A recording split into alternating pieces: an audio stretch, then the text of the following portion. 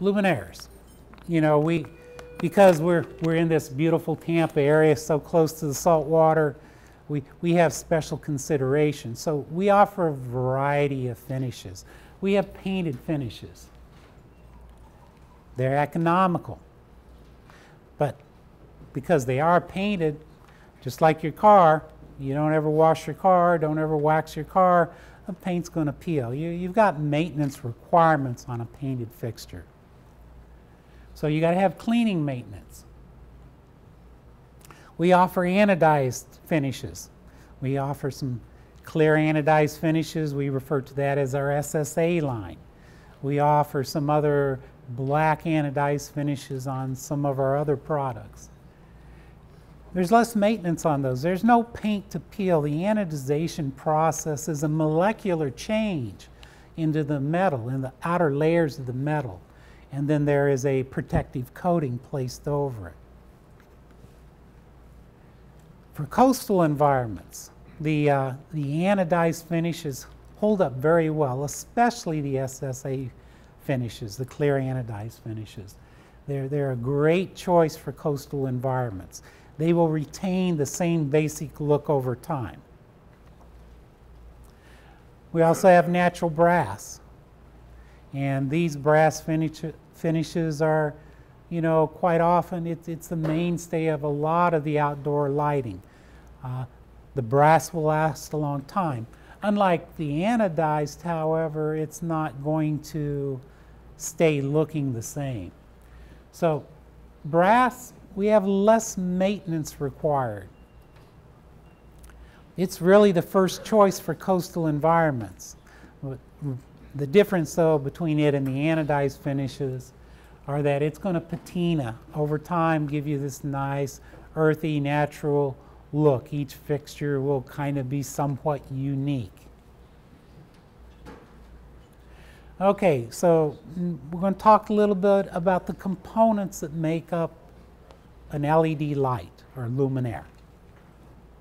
We have drivers, okay? Purpose of the driver is it converts the AC power that comes into the light or DC power. Our lights will work equally well with AC or DC. And it turns that into a, a, a DC constant current. That is what we need to drive through the LEDs. You don't put voltage across the LEDs, you put current through LEDs.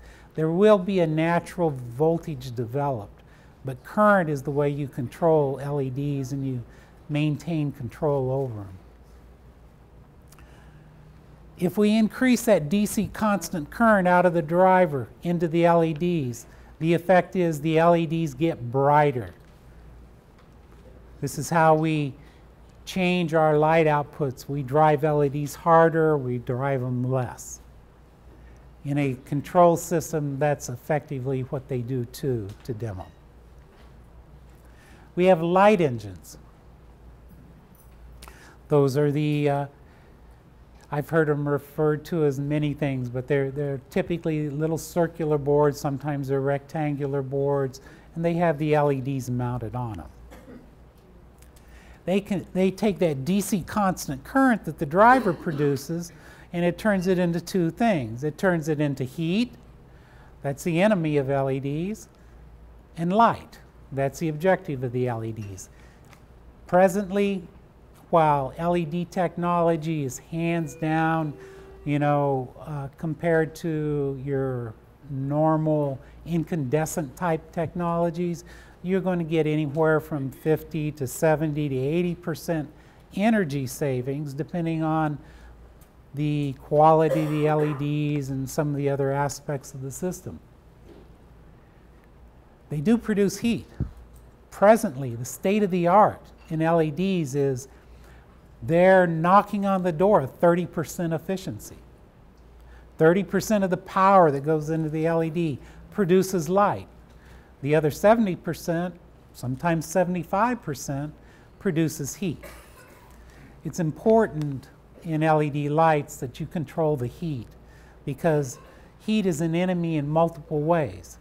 One, too much heat will shorten the lifetime of LEDs. I can tell you a garden light, we, we have a, a temperature measurement we make on the LEDs. It's called the solder point measurement. We actually take a thermocouple and attach it to the solder and measure how hot it gets. It allows us to understand how hot the LED gets on the inside. And that's the thing that controls its life. It also controls its light output. One of the things I will tell you is that the solder points on Garden Light product are very good. This isn't the only lighting company I've ever worked for. And trust me, when I say the solder points are very good, they are. The temperatures are low. That's important for the life of the LED, but it's also important for the light output of the LED because as an LED gets hotter, you start losing light output. You know, you, you can lose 5, 10% of the light output if we allowed them to get too hot. Because our solder points are so good, we have very little variation in the light output. Even when we, you know, the difference between when we first turn it on and an hour later when it's completely thermally stabilized, you, we, we, you will see a slight difference, but it's not nearly as large as many, many other people's lights. Many other people will uh, allow the solder point to get higher. It's allowed. It shortens the length of the light, but it puts out less light. That's the way they try to push the LEDs as hard as they can to try to get them for as much as they can in terms of dollars. You don't see that at Garden Light. We, we push the LEDs sometimes a little hard, but because we are able to have such good thermal performance, we lose very little light. So we, we, we get the benefit of, I call it free light, because we keep the temperatures of the LEDs down. Part of most of our lights, not all of them, but most of our lights involve optics. And what, what, what's the role of an optic in it? Well, it redirects light. If any of you have seen our X light, we shoot the LED straight up in the air, but the light comes out this way. So that's an example of redirection of light. We actually make it do a 90 degree turn. They focus the light. Those of you who have ever used our, our 12 degree optics, maybe to light a flagpole, know that we collimate the light and make a very, very tight beam. Uh, some of you who have used the new Micromax we actually spread the light. We even it out and spread it wider than what a normal LED would put out. That was driven by comments from many of you coming in. Can we have it a little wider? Handling requirements, and this is important uh, for people in the field to understand these aspects. One, drivers and light engines, they're electronic assemblies. They're, they're like a circuit board in your computer, in your TV. They're electronic assemblies. They're, they're not light bulbs. Even when we had light bulbs, though, I think most of you know that you, you weren't supposed to touch the halogen bulb with your bare hands. You get the handles on there and they're going to fail early. So, you know, even in the days of halogen, there were handling requirements. The handling requirements for today's lights, the LED solid state lights, are similar but a little different.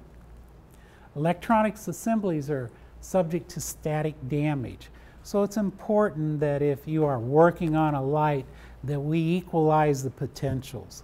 I'm not going to run through how to do that, but if any of you are interested, we can certainly help you with that.